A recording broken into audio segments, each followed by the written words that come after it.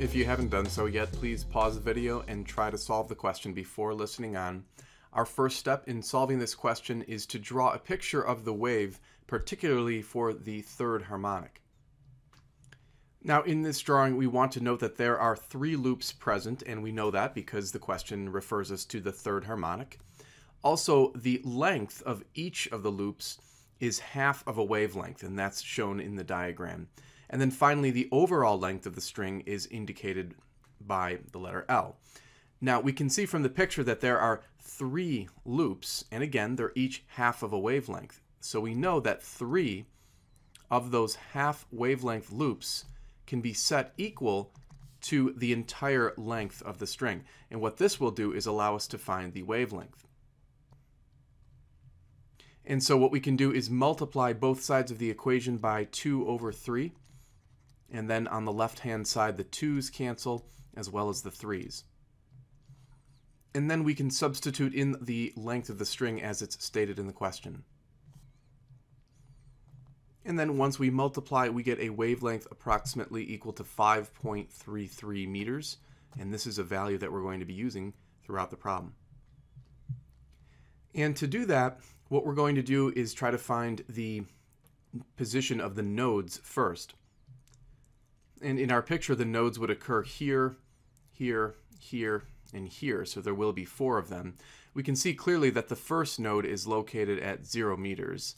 The Second node is located at that half of a wavelength, so we would have to take the wavelength that we discovered and basically divide it by 2.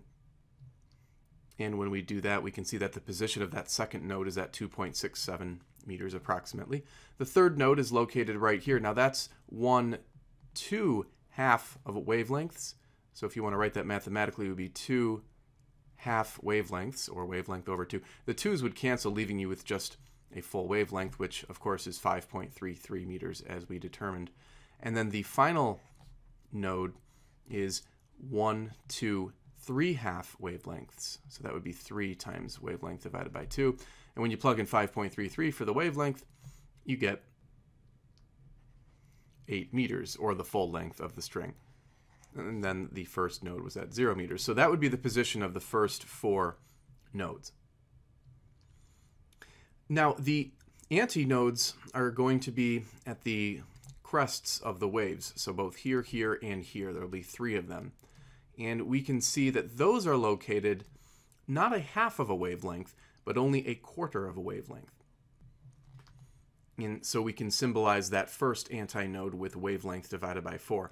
When we plug in the wavelength and divide it by 4, we get roughly 1.33 meters. So that's the position of the first antinode right here. For the next one, we just have to count off how many quarter wavelengths it is. So it's one quarter wavelength, two quarter wavelengths, three quarter wavelengths. So that will be three wavelengths divided by four.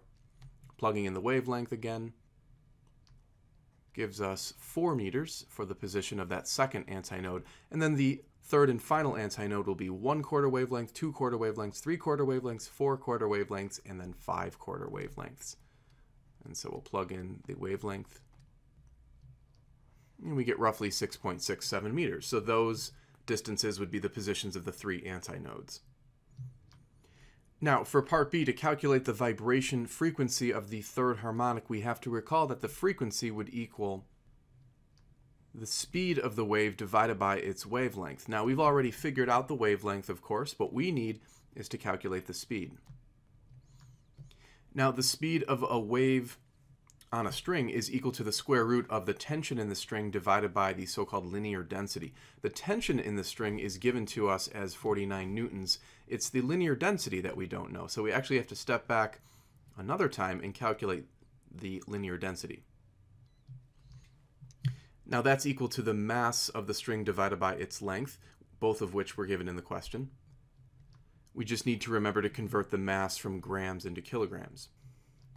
So when we do that and divide, we get approximately 5 times 10 to the minus 3 kilograms per meter for the value of the linear density. Now we can plug that in to the speed equation and calculate the speed.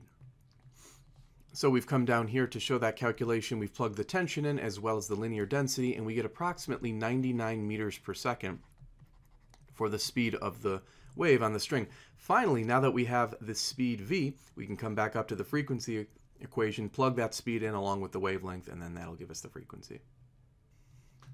So when we divide the speed by the wavelength, we get approximately 18.6 hertz as the frequency for the third harmonic. Thanks for watching the video. If you liked it, click the thumbs up icon and also subscribe to the channel so you could see additional videos. Remember, you can send in your own question to this email address and I'll do my best to answer it on YouTube.